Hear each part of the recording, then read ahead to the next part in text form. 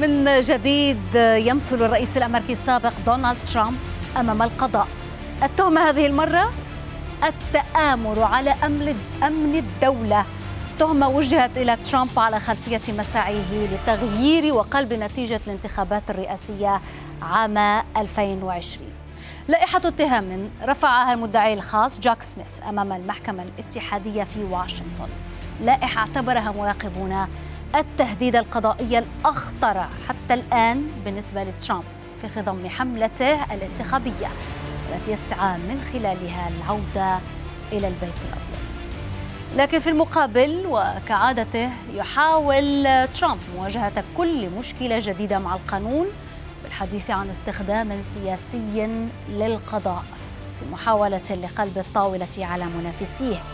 هذه المرة رد ترامب على التهم الموجهة إليه جاء بالتهكم قائلا أنه لم يتلقى دعما بهذا القدر من قبل مطلقا في ظل التطورات. فهل تنجح هذه التهم في عرقلة ترشح ترامب إلى الانتخابات الرئاسية المقبلة؟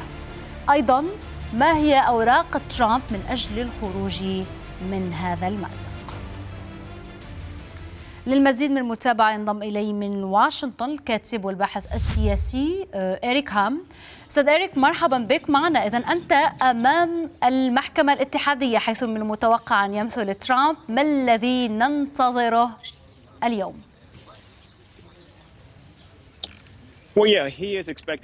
نعم يتوقع أن يكون هنا في الرابعة مساء بتوقيت واشنطن العاصمة. كما ترين هناك الكثير من رجال ونساء الأمن حول محيط هذه المحكمة. هناك ما يشبه إغلاق لهذا المحيط وترامب سعيد على ما يبدو في التواصل مع المحكمة. لكن كان يريد أن يفعل ذلك عن بعد. ولكن هو سيدلي بتعليقات لاحقا في المطار بعد أن يرحل من ناديه في نيوجيرسي طيب بالنظر للائحة الاتهام المقدمة بحقه واللي تضم ربما أكثر من 45 صفحة وعدد من النقاط إلى أي مدى هي خطيرة حقيقة أستاذ أريك؟ ويمكن أن تهدد فرص ترامب بالمنافسة للعودة للبيت الأبيض. بالتأكيد فرص تثبيت التهم عالية. وعندما نقرأ لائحة الاتهامات هناك اتهام بالتآمر وعرقلة إجراءات رسمية اتحادية. وكذلك هناك اتهامات في الولايات أخرى. ولذلك هذا يعني أنه إذا دين سيكون يكون هناك سجن للسنوات وهذه المرة لائحة الاتهام مختلفة عما كان عليه الحال في فلوريدا بمسألة الوثائق السرية لأنه في هذه المرة كان هناك لوم لذلك القاضي الذي عين من أوباما وأن هناك مطاردة له ولوي لذراع الحقيقة. ولكن الآن هناك مسألة متعلقة باقتحام الكونغرس وهذا القاضي الآن الآن قد يفرض بعض العقوبات القاسية وسنرى كيف سيؤثر ذلك على دونالد ترامب. في اليوم سنرى ما إذا كان هذا القاضي جاك سميث سيكون راغبا في التأجيل أو التعجيل أو يقوم بتوجيه تهم قاسية على ترامب.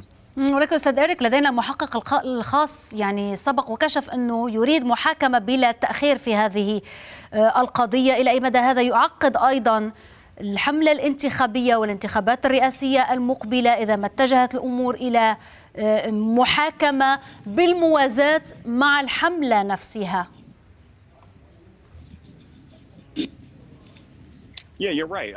نعم أنت محقة. نعرف مسبقا أنه في حالات مثلا مثل دفع المال لإسكات ممثلة إباحية. نعرف أن ذلك سيتابع في 2024 وكذلك الآن نعرف كذلك أن القضية الأخرى لها تاريخ في مايو 2024 ولذلك قد يكون هناك بعض التعقيدات تعقيد في الحملات. مع ذلك كل هذا قد يجعل ترامب يخوض حملة بشكل أقوى لأنه نجح في المرور من محكمة إلى أخرى ذات تشريعات مختلفة وتفادي الدخول إلى السجن وكذلك خوض الانتخابات الرئاسية.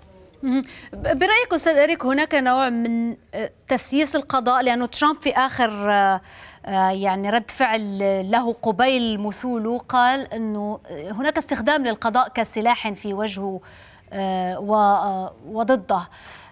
هل الأمر كذلك حقيقة كله في سبيل عدم وصول أو عودة ترامب إلى البيت الأبيض وفق أجندات أو منطلقات؟ خاصة وشخصية حتى داخل القضاء والمحققين الخاصين؟ نعم هذه سردية ورواية تكرر هنا ليس فقط من قبل ترامب وإنما من قبل أنصاره وعلينا أن نكون واضحين. الكثيرون يعرفون أنه كانت هناك شهادات عديدة وكثيرة من قبل أشخاص إما عملوا مع دونالد ترامب أو كانوا أنصارا متحمسين لدونالد ترامب. بمن فيهم مايك بينس؟ نائبه السابق. وكذلك عندما نعرف مثلا قضية الوثائق السرية في تلك الحالة بناء على ما تظهر لائحة الاتهام هناك أدلة كذلك كثيرة.